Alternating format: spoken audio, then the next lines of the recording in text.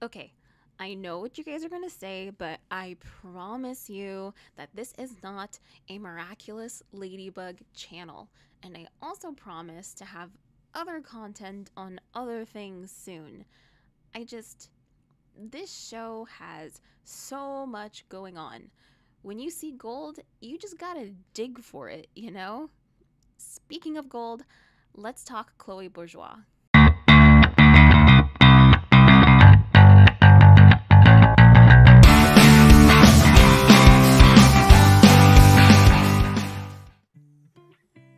Everyone. My name's Aloubell, and today I'm going to not only discuss the tragedy that is Chloe, but also give my version on how I think she should be handled. But before we get into that, if you're interested in opinionated videos, rewrites, or analyses of anime, cartoons, or stories, or if you like the occasional storytime video, then please subscribe and ring the notification bell. The support really helps as I'm trying to reach my dream of having a creative career. So, if you like this video, please also give it a like and a thumbs up. And if you fancy yourself some cute and colorful artworks, please consider checking out and following my Instagram page at Aloubell. You'll see some of my recent works here.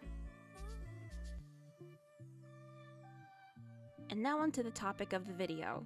As previously established, I have never watched a single episode of Miraculous Tales of Ladybug and Cat Noir, but regardless of that fact, I know most of what's happening in the show due to massive spoilers on Instagram and fanfiction. I have previously discussed how Miraculous's story elements ripped off the manga slash anime Shugo Chara, as well as how the time travel aspect of Miraculous is stupid broken. I will link both videos in the description below. Something that also bugs me about Miraculous is its usage of Chloe. Spoilers for season 4 incoming, by the way. From what I know about Chloe, she's the spoiled, rich, entitled mean girl trope who is a bully and low key racist to Marinette. She's also childhood friends with Adrien, or at least she was. we'll get into that. Um, she has a father who bends to her whims and a mother who neglects her. Side note, if you want to read slash look at some hilarious comics about Audrey, Chloe's mom, which hype up her obsessions and further accentuate her neglect of everyone who isn't Gabriel Agreste, then check out at Chlogami on Instagram. Chlogami makes comics on the daily, usually about Audrey, and I implore you check them out. They're really fun. uh, anyway, for a while, Chloe was also the holder of the Bee Miraculous, which held Pollen, her Kwami, who transformed her into her superhero persona, Queen Bee. Normally, the main character wouldn't give their rival or bully a cool thing like a miraculous, but due to shenanigans, Chloe got a hold of it and initially made some really foolish decisions with it that nearly got many people hurt and at worst killed. However, Chloe was super happy to be a part of something so important as a hero of Paris and, at the time, really wanted to impress her idol, Ladybug. So she was actively working harder to be a better person who could be worthy of wielding the miraculous. Was it a slow burn? Of course. I mean, I presume so, because again, I didn't watch the show, but I imagine it was a slow burn, because, like, no one that stuck in bad habits can just get rid of them so quickly. But you could tell she was trying. Mari saw that effort and allowed Chloe to be Queen Bee a couple more times. Chloe was, as I understand, showing promise. She even resisted being akumatized.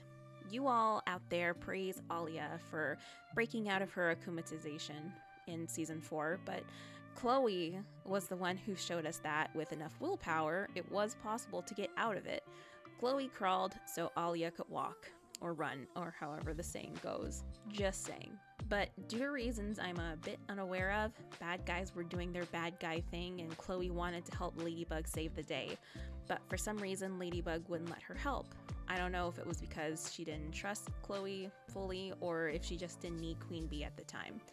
And as a result of this perceived rejection and neglect, mirroring what she feels with her mother, Chloe got so frustrated at Ladybug to the point where she not only willingly helped Hawkmoth, but revealed the identities of all the heroes except Ladybug and Cat Noir.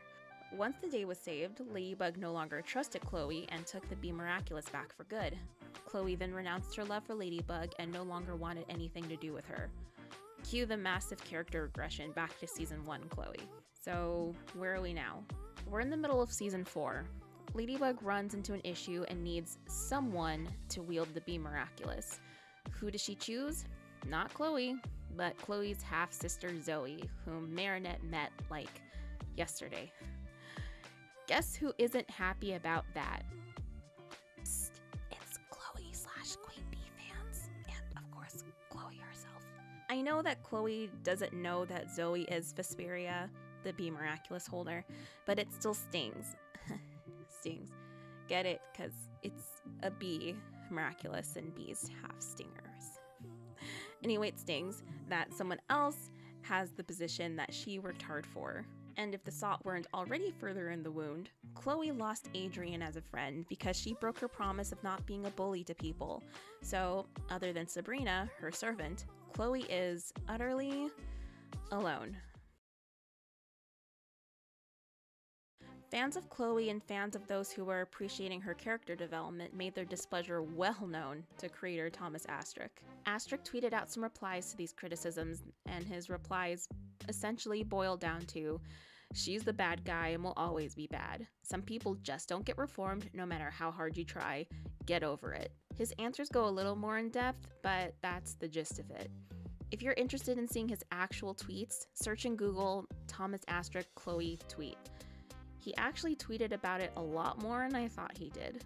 Before I go into my formal critique, let me just say please no one attack this man or Zag, anybody, verbally or otherwise. At the end of the day, it is his show and his characters, and ultimately his decision on how things play out.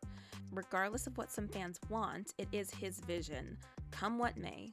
Yes, it's frustrating to have your expectations shattered and to see characters you love be treated unfairly, but sometimes that happens in life and you have to be mature about it. Sometimes you can change it, and sometimes it's not for you to change. It's perfectly fine to critique things and give constructive criticism as long as it's polite and not a personal attack. I'm actually tempted to say that what he's doing isn't harming anyone as it's just a kids' show, but I do take issue with something. I'm going to be completely upfront with you all. I'm a Christian, and part of Christianity is unconditional love and forgiveness of people's wrongs. And another part is being so filled with love and hope and the overwhelming joy and relief that comes from knowing that someone, i.e., Jesus, loves and forgives you to the point that you want to be someone completely different. You want to cast away your old self who committed so many wrongs and want to be better and treat others with love gentleness, understanding, etc. Through this unconditional love, you become someone new despite your past. Your past doesn't matter. You can still contribute to society in a positive way. Yes, because of how life and things work, there's still going to be consequences to your actions, of course. I'm not saying that stuff just disappears, but a lot more doors just open up to you when you decide to make that change because of that love that was shown to you and when people give you a chance. So when someone like Astruc comes along and says that a 14 slash 15 year old girl who has problems at home and has no friends and lost so much is so deep into the hole of villainy that she can't come out is not only cynical, but harmful to young viewers. I'm not ignorant though. Yes, I am ignorant about Miraculous, as I have said in my previous video, but I am not ignorant about this fact. Some people are bad and they stay bad, or people have bad behaviors and they continue to do those bad behaviors despite the consequences. After all, you can only change if you really want to. Some people really don't want to. So, yes, Astruc is correct that some people don't change. On some level, sure, you could depict that in a show and have that be a lesson to kids and whoever that not everyone will change, and I do generally think it's a good idea to show that sometimes, as to not delude anyone. But also, you don't have fun or engaging stories all the time if everyone reforms. Stories need villains sometimes, and, you know, exciting stories sometimes have villains who don't reform. It's, you know, stories got a story and be exciting and to keep your attention and stuff and suspension of disbelief and all that. But having said all that, like don't do the not capable of reforming thing with Chloe, not with someone like Chloe. My favorite trope in all of stories is the reformed villain, my favorite characters in live action, anime, and cartoons are reformed villains. Vegeta from Dragon Ball Z, Starlight Glimmer from My Little Pony Friendship is Magic, and Regina from Once Upon a Time. Those three are my favorite characters of all time. I love reformed villains. They have the most character development out of anyone, usually, and they are an excellent analogy to how knowing Christ is supposed to affect you. No, none of them are Christian stories, but I cannot help seeing the parallels. You start out as terrible, and then you see the light and become awesome. It's just good stuff. It shows that no matter how far you fall, you can always rise back up if you're not only willing to work at it, but also if people are willing to forgive and give you a chance. Chloe has all of the potential to reform and become an amazing character. At this point, she's been torn down to basically nothing. She lost so much. It's usually at a character's lowest point that they can rise up and make a triumphant return. Then again, I don't quite think she's at her lowest point just yet. I think if Sabrina breaks away from her and finally gains some backbone, that will be when Chloe has truly reached her lowest point. So, I'm about to discuss something from My Little Pony Friendship is Magic, and there's going to be some heavy spoilers here. If you plan on watching MLP, then this is one of those kind of spoilers that, trust me, you don't want to know about if you plan on watching this show, because it's gonna, it's not gonna be as good of a surprise to you. So you might want to skip to the next point so you don't get spoiled. But for everyone out there who either doesn't care or already knows, then keep on listening. Chloe highly resembles Diamond Tiara from My Little Pony Friendship is Magic. I also heard that she highly resembles Pacifica from Gravity Falls, but I haven't really watched Gravity Falls. I watched like the first season and I stopped caring. I know things, I know cool, wild things and happen, and it's a cool show and it's amazing, and you should watch it, Aloe. Yeah, yeah, yeah, yeah, I don't want to. I don't want to. I do not. I don't want to watch Gravity Falls. I don't feel like it but I'm glad you guys all like it. Yay. I'm not going to use Pacifica because I don't know enough about her to do that. I know Diamond Tiara, so I'm going to use Diamond Tiara. Anyway, Diamond Tiara is a spoiled, rich, and entitled little filly who's not only a bully to the little sisters of three of the main characters, but she's also made fun of someone's disability. Due to being rich and earning her cutie mark, she's had the other younger ponies' attention as she could flaunt her wealth and status. Like Chloe, she had a second in command named Silver Spoon who joined in the bullying. Silver Spoon, however, was more like a lower ranked accomplice than Sabrina, who is legit a servant. Diamond Tiara was also the class president and highly influential.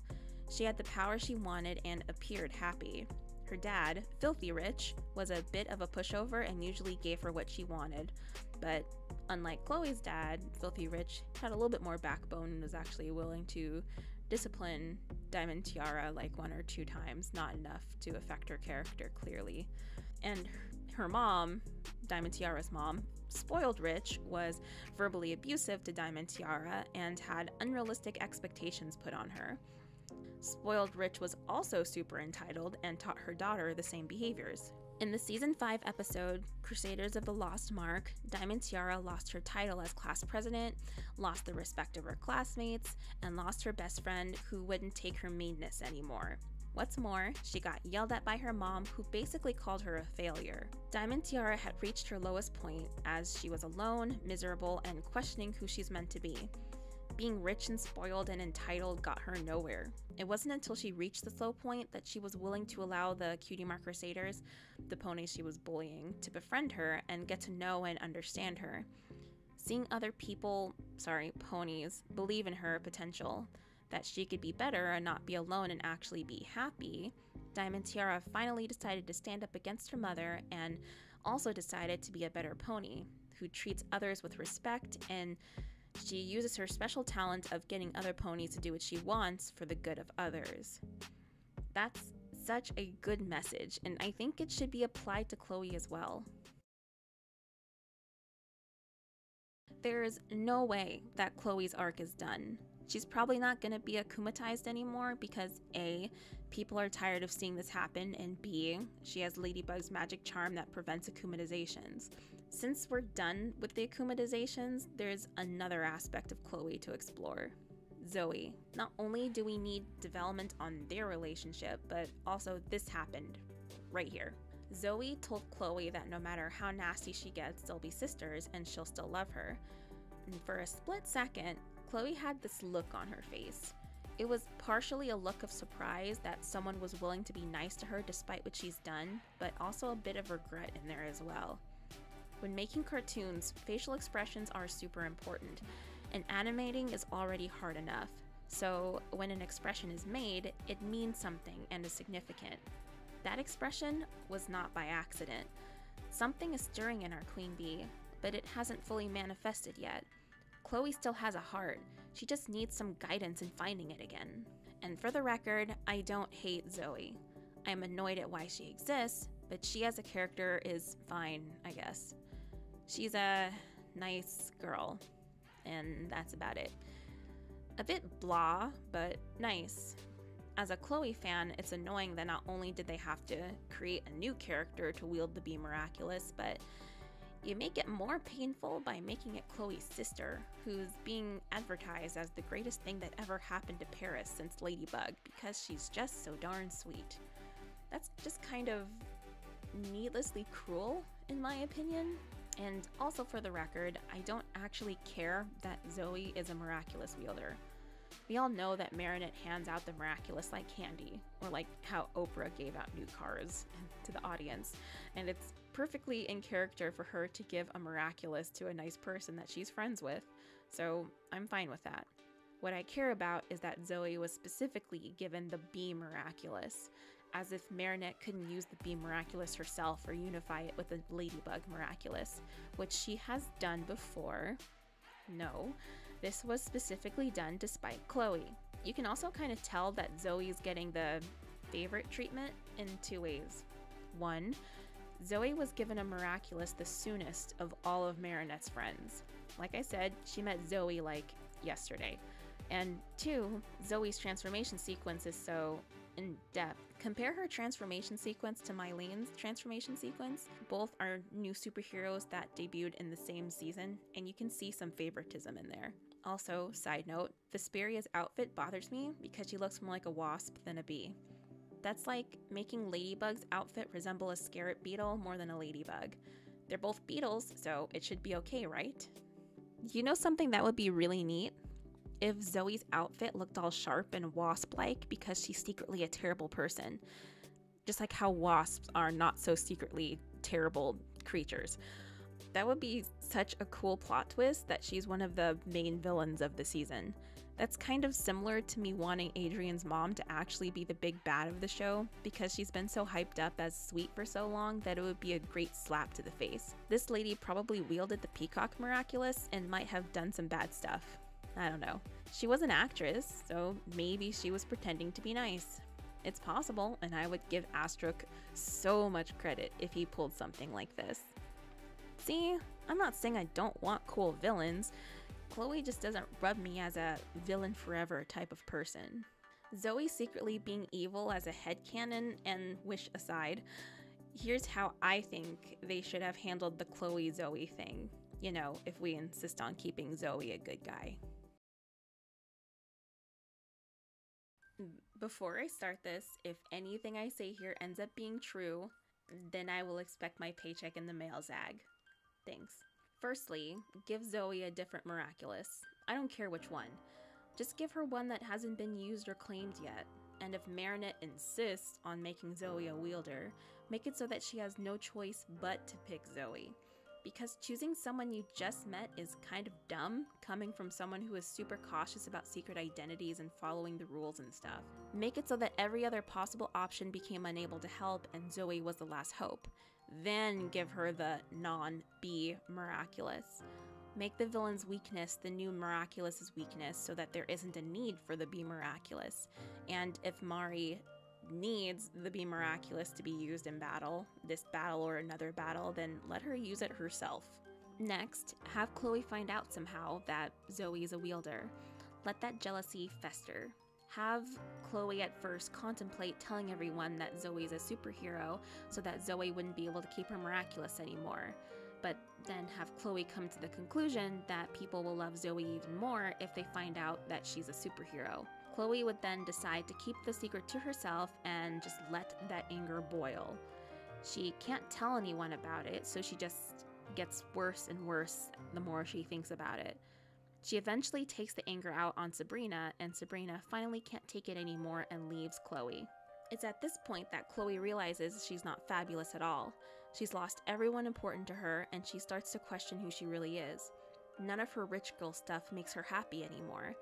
She thinks she's nobody and doesn't even deserve to be considered a bourgeois anymore. Chloe decides to run away from home, taking only her teddy bear with her and some clothes. In the middle of her running away, she almost gets hurt from a random Akuma attack and ends up getting saved by Cat Noir and Ladybug. Once the day is saved, Chloe continued to try to leave Paris on her own. Cat notices or realizes or is, I guess, just blatantly told that Chloe is leaving and, secretly being Adrien, feels bad and tells Ladybug to go on ahead without him. Ladybug's a bit confused but doesn't question him and she leaves. Cat tries to reason with Chloe not to go, but Chloe can't think of a good reason to stay and that no one cares about her. Cat says he does, but she doesn't believe him and says he's on the traitor Ladybug's side. In a twist of events and in a leap of faith and desperation, since he doesn't want Chloe, a young girl, to get hurt wandering the world on her own with absolutely no survival skills, Cat reveals his identity to Chloe and she sees that he's Adrien, someone who does care about her despite their previous falling out. This would also mirror Marinette telling Alya her secret identity. Chloe is confused and shocked and angry at him all at the same time. There's some jealousy in there as well, since both Adrien and Cat are beloved by all of Paris while she's nothing. He tries to explain to her the effects of her nasty attitude and why everything happened the way it happened. After some probing, she finally admits she doesn't know how else to be.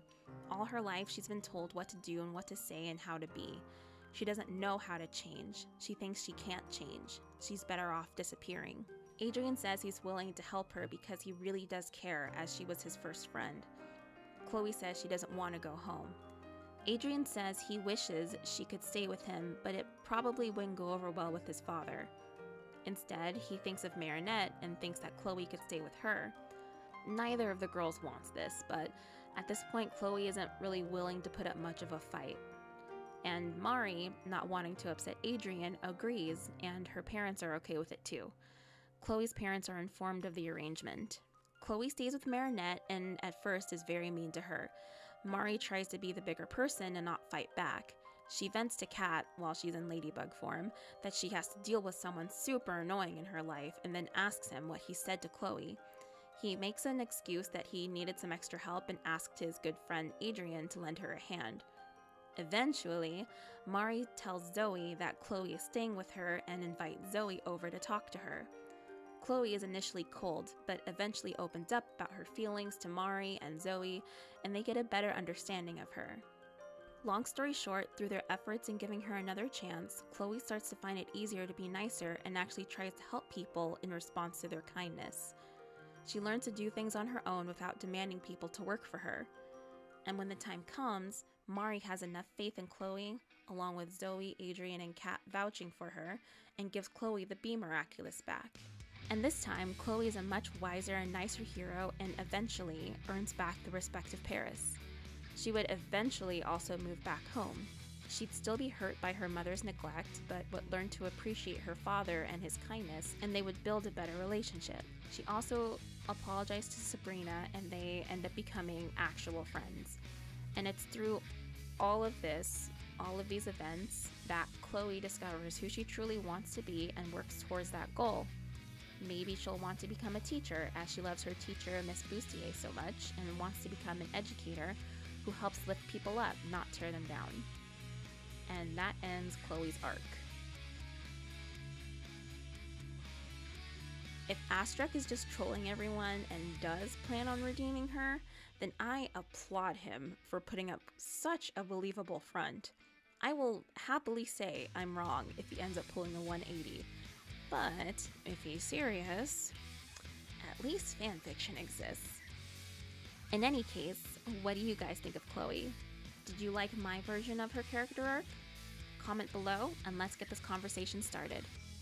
Until then, That's all there is. There isn't any more.